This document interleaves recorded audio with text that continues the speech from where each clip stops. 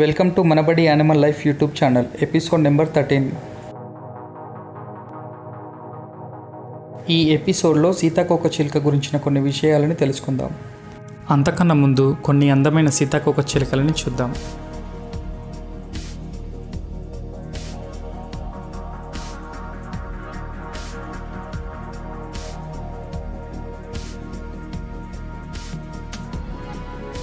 గొంగలి పురుగంటే ఎవరికి ఇష్టం ఉండదు. అందరూ దాన్ని చూసి భయపడి అసహించుకుంటారు. అందరూ అసహించుకునే గొంగలి పురుగు కానుండి అందరూ ఇష్టపడే సీతాకోక చిలుక వరకు మారిన సీతాకోక చిలుక గురించి ఈరోజు తెలుసుకుందాం. ఈ ప్రపంచంలో పుట్టిన ప్రతి ప్రాణి ఎలా పుట్టిందో అలాగే చనిపోతుంది. కానీ ఒక్క గొంగలి పురుగు మాత్రమే అందరూ అసహించుకునే స్టేజ్ నుండి అందరూ ఇష్టపడే సీతాకోక చిలుకలా మారుతుంది. ఈ ప్రపంచంలో దాదాపు పదిహేడు వేల ఐదు వందల సీతాకోక చిలుకల జాతులున్నాయి. సీతాకోక చిలుకలు చిన్న చిన్న చెట్ల ఆకులపైన గుడ్లు పెడుతుంది. ఒక సీతాకోక చిలుక దాదాపు వంద నుండి రెండు వందల గుడ్ల వరకు పెడుతుంది. అయితే వీటి గుడ్లు పెట్టిన కొద్దిసేపట్లలోనే గట్టిపడే లక్షణాల్ని కలిగి ఉంటాయి. సీతాకోక చిలుక గుడ్డుగా మొదలైన గొంగలి పురుగు జీవితం మళ్ళీ సీతాకోక చిలుకగా మారడానికి నాలుగు స్టెప్స్ని దాటవలసి వస్తుంది. నెంబర్ వన్ సీతాకోక చిలుక పెట్టిన గుడ్లలో నుండి గొంగలి పురుగు అని పిలువబడే ఒక కీటకం పుడుతుంది. నెంబర్ టూ ఇవి పుట్టిన వెంటనే ఆహారం కోసం వెతికి ఆహారం తినడం నేర్చుకుంటాయి. అయితే అవసరానికి మించి అంటే ఎక్కువ మొత్తంలో ఆహారం తింటాయి. Number three. ఇవి తమ ఒంటిపైన ఉన్న ముళ్ళు లాంటి పొరని అంటే పాములు కుబుసం విప్పినట్టుగా ఇవి కూడా తమ ఒంటి మీద ఉన్న పొరని విప్పుకుంటాయి.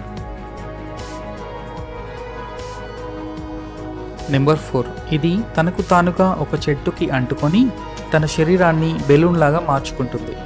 తన శరీరాన్ని గాలితో నింపుకొని బెలూన్గా మార్చుకొని ఆ బెలూన్ లోపటే ఆ పురుగు ఉండిపోతుంది. అలా ఐదు నుండి ఇరవై రోజుల వరకు కట్టిక చీకటిలో ఆహారం కూడా లేకుండా తనని తాను బాధించుకొని ఒక అందమైన చితకోక చిలుకలాగా మారుతుంది. ఇది తనకి మరో జన్మ అని చెప్పుకోవచ్చు. అలా అందరూ అసహించుకునే రూపాన్ని వదిలేసి అందరూ ఇష్టపడే రూపంలోనికి మారి అందరి ప్రేమని సొంతం చేసుకోవడం చాలా గొప్ప విషయం అని చెప్పొచ్చు. ఈ ప్రపంచంలో ఉన్న అన్ని దేశాలలో సీతాకోక చిలుకలు ఉన్నాయి. థర్టీ డిగ్రీస్ కన్నా తక్కువ ఉష్ణోగ్రతలో ఇవి ఎగరలేవు. సీతాకోక చిలుకకి నాలుగు రెక్కలు ఆరు కాళ్ళు ఉంటాయి వీటి కాళ్ళలో సెన్సార్ లాంటి నిర్మాణం ఉండడం వలన ఇవి టేస్ట్ని నోటితో కాకుండా కాళ్ళతో మాత్రమే తెలుసుకోగలవు.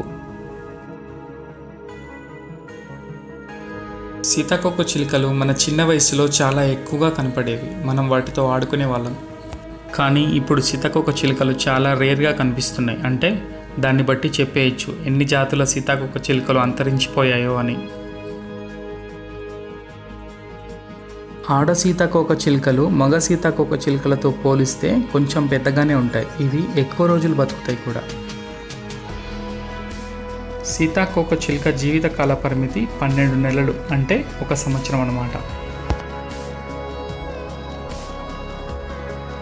మన వలనే మనం చేసే పనుల వలనే ఈ ప్రపంచంలో ఎన్నో రకాల ప్రాణులు అంతరించిపోయాయి.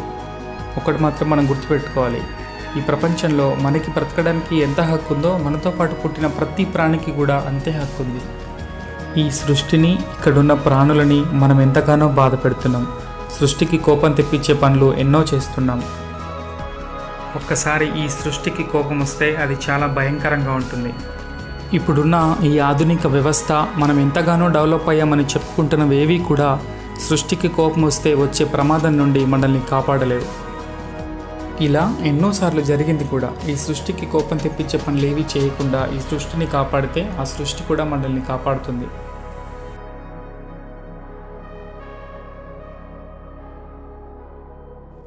థ్యాంక్ యూ ఫర్ వాచింగ్ ఈ వీడియో మీకు నచ్చితే లైక్ అండ్ కామెంట్ చేయండి. మీ స్నేహితులతో తప్పకుండా షేర్ చేయండి. మనబడి యానిమల్ లైఫ్ యూట్యూబ్ ఛానల్ని సబ్స్క్రైబ్ చేసుకోవడం మాత్రం మర్చిపోవద్దు.